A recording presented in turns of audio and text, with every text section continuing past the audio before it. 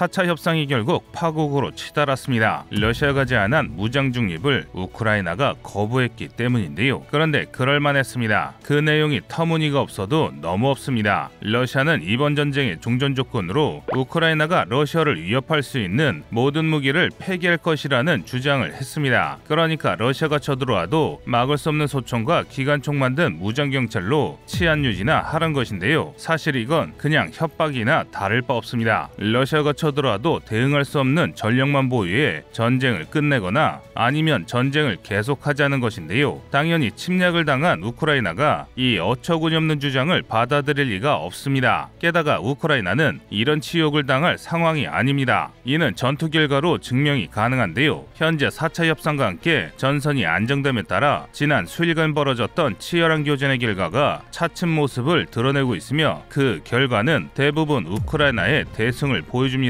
특히 남부전선과 동부전선에서 두 차례의 큰 승리를 거뒀는데요. 우선 남부전선의 헤르손 공항에 대한 우크라이나의 공세가 대성공을 거뒀습니다. 헤르손 공항에 주둔 중인 러시아군에게 기습을 가해 대타격을 가한 것인데요. 이는 지난 수일 전 있었던 야간 포격에 이은 대승리입니다. 그런데 더 중요한 점은 결과가 아닙니다. 우크라이나군이 이 성과를 공습으로 거뒀을 가능성이 높다는 것이야말로 우리가 주목해야 할 점인데요. 사진을 보시면 아시겠지만 일반 포격처럼 여러 지점에 탄착 흔적이 있는 것이 아니라 거대한 화구 하나만이 존재합니다. 이는 고중량인 항공폭탄을 이용한 공습의 모습과 굉장히 일치하는 모습입니다. 만약 우크라이나군이 공습을 가할 정도로 여력이 있다는 것이 사실이라면 러시아는 절대 우크라이나를 점령할 수 없습니다. 제공권을 쥐고 우크라이나군의 움직임을 차단해도 이길까 말까 한데 오히려 이동 중인 러시아군이 적의 포를 받는 꼴이 됐기 때문인데요. 이렇게 되면 러시아 의 침략은 그저 진창 속의 병사들의 목숨을 희생시키며 무의미한 삽질에 불과합니다. 이를 보여주는 대표적인 사례가 마리우폴 포위전인데요. 러시아군은 압도적인 전력으로 마리우폴을 포위한 2주 동안 졸전을 거듭했습니다. 심지어 최근에는 사단장의 사망이 확인됐는데요. 그것도 러시아 최정예 사단 중 하나로 불리는 150사단 이드리츠카야의 사단장입니다. 과거 이드리츠카야는 2차 대전 중 스탈린그라드 전투에서 나치 독일 육군의 항복을 받아 냈고 이후 키이우 해방, 쿠르스크 대전차전, 바그라티온 공세, 베를린 전투에서 활약했습니다. 그중 화룡점정은 제국의사당 점령인데요. 제국의사당의 깃발을 꽂은 부대가 바로 이 154단입니다. 이후 한때 해체되기도 했으나 여전히 소련 시절 깃발을 쓰면서 옛 역사에 자부심을 가진 것으로 유명한 정예 부대입니다. 그런데 이런 부대의 사단장이 전사했다는 것은 러시아가 이번 전쟁에서 얼마나 큰 피해를 입었는지를 입증합니다. 심지어 이 승리를 이룬 것은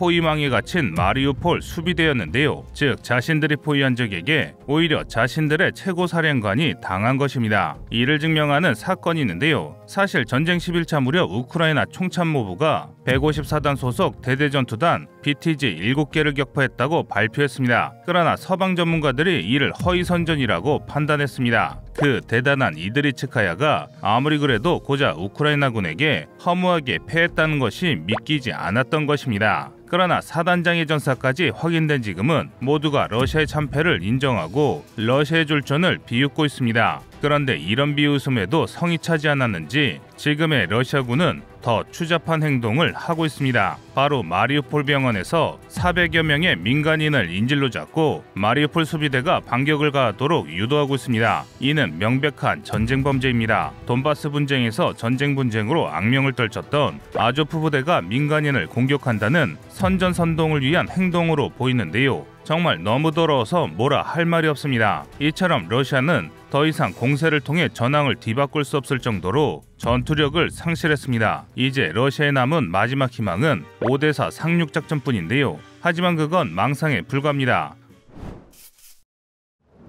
마리우폴에서 민간인들이 대피한 드라마 극장이 타격받았습니다. 이곳에 약 1000명의 민간인이 대피했던 것으로 알려져 있는데요. 대체 왜 폭격이 가해진지 알 수 없지만 이로 인해 많은 사상자가 발생할 것으로 보입니다. 하지만 이런 잔혹한 공격에도 불구하고 러시아군의 전과는 미미합니다. 오히려 마리우폴을 방어하는 수비대에게 계속 피해를 입고 있는데요. 3월 16일 밤 우크라이나군이 마리우폴에서 러시아 전차 두 대를 격파하는 영상을 올렸습니다. 보시다시피 보시다시피 해당 영상에는 드론을 이용해 적의 위치를 파악한 뒤 대전차 화기로 기습을 가한 것으로 보이는데요. 후반부에 화염이 한 번 더 솟구치는 것으로 보아 함께 움직이고 있던 전차 하나가 더 파괴됐을 가능성이 높습니다. 마치 보병의 대전차 화기가 무적처럼 보이기까지 하는데요. 그런데 이건 보병용 대전차 무기가 강해서가 아니라 러시아군의 전투 역량이 심각하게 떨어져서 발생한 일입니다. 현대 시가전에서 전차는 절대 혼자 움직이지 않습니다. 후속하는 장갑 차량에 탑승한 기계 보병이 하체에 사주 경계를 하며 전차가 확인할 수 없는 시야각을 추가로 확보해야 하는데요. 대한민국이 개발한 레드백처럼 증강현실과 고성능 열상이 있는 기갑 차량이라 하더라도 여러 방향의 공격에 대응하기 위해서는 보병의 도움이 꼭 필요합니다. 그런데 여기에는 그게 없습니다. 보병은 눈을 씻고 찾아봐도 보이지 않고 꼴랑 전차 두 대가 겁도 없이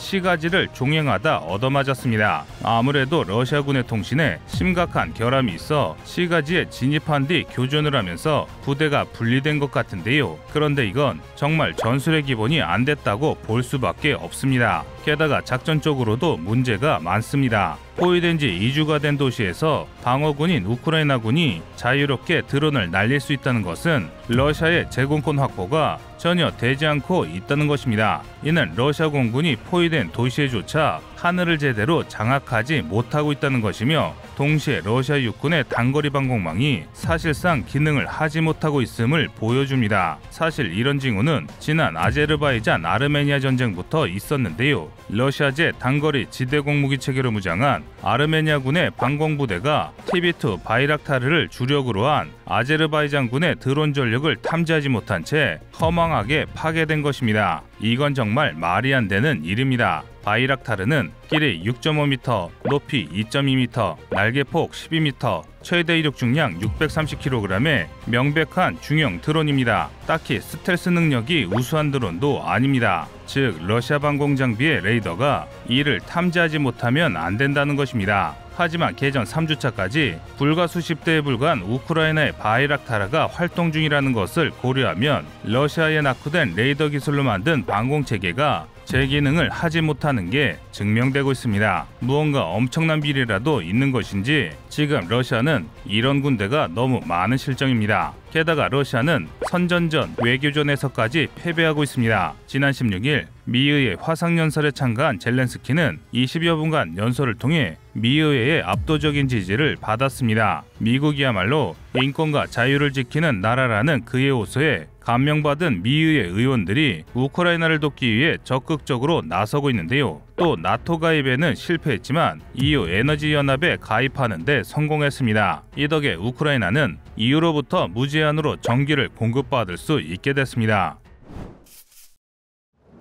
전쟁이 지속되면서 러시아 내부가 분열되고 있습니다. 격화되는 반전 시위 이상으로 정부의 선전에 따라 전쟁을 지지하는 이들도 늘어나고 있는데요. 가장 대표적인 사례가 바로 지 지지 운동입니다. 러시아군의 식별 부호인 지 V 5중 하나인 지로 전쟁에 찬성하는 신호를 보내는 것인데요. 이 운동에는 운동선수부터 민간인까지 정말 많은 이들이 자발적으로 참가하고 있습니다. 전쟁의 원인이 무엇인지 중요하지 않으며 우크라이나에서 승전만이 중요하다는 태 태도인데요. 조금만 밀어붙이면 승리할 것이라는 정부의 선전을 그대로 믿고 있는 것입니다. 심지어 아이들을 이용한 전쟁 지지 캠페인까지 벌어지고 있는데요. 하지만 현실은 참혹합니다. 2월 24일 개전 초기까지만 하더라도 진격하는 러시아군은 첨단 장비로 무장하고 있었습니다. T-80, T-90과 T-72, B3, T-72, B3M 등 최신형이거나 최신 사양으로 개량된 전차가 주력이었으며 장갑차 역시 BMP-3, BTR-90 같은 우수한 화력의 장갑차가 많았습니다. 그러나 지금 러시아군은 후방부대가 사용하는 고물 T-72B1과 BMP-1을 주력으로 사용하는 부대가 점점 늘어나고 있습니다. 영상에서 노획당하고 있는 T-72B3처럼 상당량의 전차가 전장에서 버려지거나 파괴됐기 때문입니다. 심지어 80년대 초 배치된 T-72A까지 등장했는데요. T-72는 우리 군의 애물단지 고물전차 M48과 비교해도 그다지 나을 게 없는 전차로 정도로 현대전에서는 사용이 불가능한 전차입니다. 그런데 러시아는 이런 구식 무기까지 사용하고 있습니다. 이는 러시아군의 전력이 굉장히 빠른 속도로 감소하고 있음과 러시아의 군수 생산 능력이 현대전에서 발생하는 소모를 감당하지 못하고 있음을 여실히 보여주고 있는데요. 사실 이건 어느 정도 예견된 일이었습니다. 현재 러시아의 국방 비리는 납품 비리나 사업자 특혜 비리로 알고 있는 우리 국민들이 감히 상상할 수 없는 수준인데요. 일례로 러시아 정부가 최신형 전차 T-14 아르마타를 생산할 공장을 건설하기 위해 투입된 예산을 누군가 착복했습니다. 이건 대한민국으로 치면 K2 전차를 생산할 생산 공장에 수조 원의 설비 투자를 했는데 알고 보니 공장이 없었다는 말입니다. 반면 우크라이나의 경우 지난 2014년 크림 분쟁 이후 지속적으로 군제 개혁에 막대한 투자가 이루어졌으며 이번 젤렌스키 정부에서 현장 지휘관 출신의 젊은 장군을 총사령관으로 임명하는 파격을 단행했습니다.